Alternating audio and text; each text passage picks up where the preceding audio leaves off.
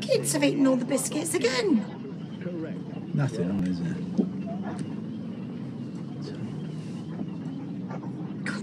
I'm sure we can find something more exciting to do than sit here and drink tea. Base jumping off the Queen Vic. Skinny dipping in the canal. Me, naked, I'd scare the dogs.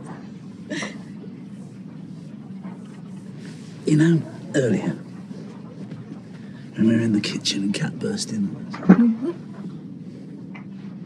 Imagine if she hadn't, eh? On the kitchen table. Cups of tea flying everywhere. Like a scene from one of those Emmanuelle films. You know I want you. I, at the moment, I'm all a bit, you know, in sixes and sevens, and I just oh, I can't.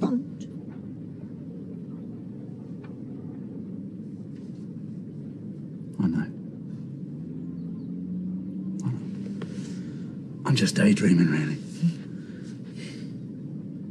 Been so long, I've probably forgotten how to do it anyway.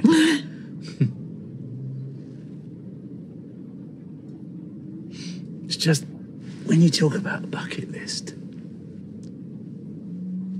that's sort of on it. I- I'm going to nip out for those hobnobs, and I'm going to turn the heating down. It's way too hot. You idiot, Daniel.